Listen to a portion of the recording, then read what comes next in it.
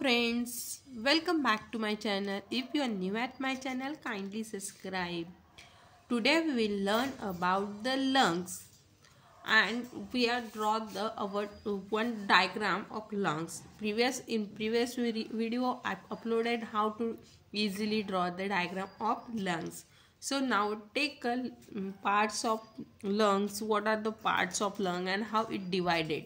Okay our lungs started from this first part is larynx then it's a trachea then it's continue this tube is continue then it's divided into two parts and then its branches are uh, it's divided into the branches and branches are again divided into the small branches.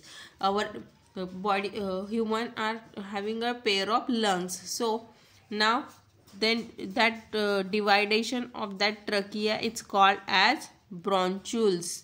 These are two, two bronchioles and then bronchioles are continue to divided into the bronchioli and then that contains the small rounds which are the airbag that called as alveoli and the uh, that uh, cover with the two layer outer part that uh, lungs are covered by two parts uh, two layer that two layer are called as pleura.